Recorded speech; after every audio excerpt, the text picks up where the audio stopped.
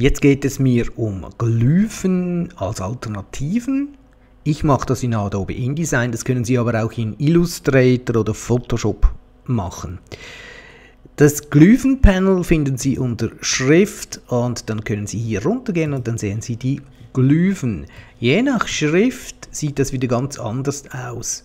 Also wenn ich hier irgend auf einen Buchstaben gehe, springe ich dorthin. Das möchte ich aber nicht zeigen. Ich möchte jetzt mal zeigen, wie man mit sogenannten Alternativen arbeitet. Das ist eine wirklich sehr schöne Sache. Sie sehen hier im OpenType-Format kann es bis zu 65.536 Glyphen haben. Ich verwende jetzt die äh, Schrift Alfresco, die finden Sie in Adobe Typekit und die sollte eigentlich mit jedem Plan herunterzuladen sein. Gut, das heißt, ich mache jetzt mal äh, ganz kurz eine Textbox. Ich ziehe die mal aus und schreibe hier mal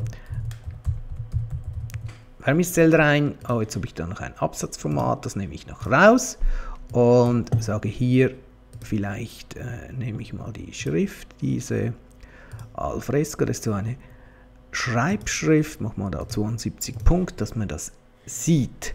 So, jetzt kennt vielleicht nicht jeder Vermicell, würde ich gerne noch vorstellen. Ich habe da mal was aus Wikipedia kopiert, dass man das sieht. Und die können das fast noch besser erklären als ich.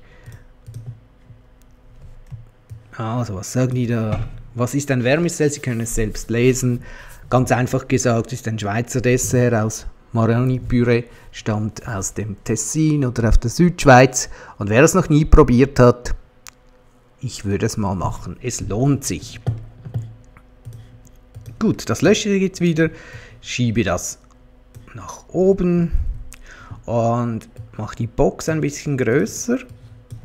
Ich kopiere das und schiebe das noch zweimal rein. Jetzt mache ich das noch ein bisschen größer. Ja, machen vielleicht 100, das ist eine gerade Zahl.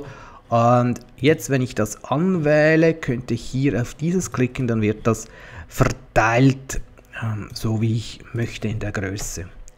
So, Absatzformate brauche ich keine. Jetzt da gehe ich hin und jetzt sehe ich hier unter dem V, dass es noch verschiedene gibt. Ich nehme jetzt mal das zweite, wähle dieses V an und nehme da das dritte V. So, Sie sehen, jetzt sieht diese Schrift schon komplett anders, anders aus. Sie können jetzt jeden Buchstaben machen. Ich mache es mal mit dem ersten und dem letzten. Das sieht vielfach sehr schön aus. Was Sie da auch machen können, ist natürlich hier sagen, ich möchte nur die Alternativen sehen. Und wenn ich da jetzt auf das S gehe, blendet er mir die alle S ein. Das kann ich hier im Glyphen-Panel machen.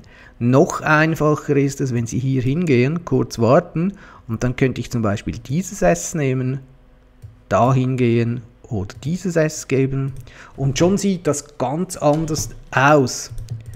Sie sehen, wenn Sie so etwas machen, lohnt es sich vielleicht mal über die Alternativen in einer Schrift nachzudenken oder das auszuprobieren. Natürlich hat das nicht jede Schrift, aber Sie können das wirklich sehr gut hier einblenden, wenn Sie hier oben sagen nicht die gesamte Schrift, sondern nur mal die Alternativen. Dann gehen Sie auf den Buchstaben, den Sie möchten und Sie sehen die ganze Auswahl. Und natürlich kann so etwas äh, in einer Titelschrift ganz anders und vielleicht auch viel schöner aussehen wie nur das normale.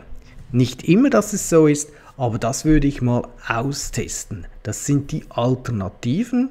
Wie gesagt, ich habe hier die Schrift Alfresco genommen und mit der funktioniert es sehr gut. Unbedingt mal austesten und wenn Sie so etwas haben, ein Schriftzug oder irgendwas, sind Alternativen in den Glyphen eine ganz tolle Sache.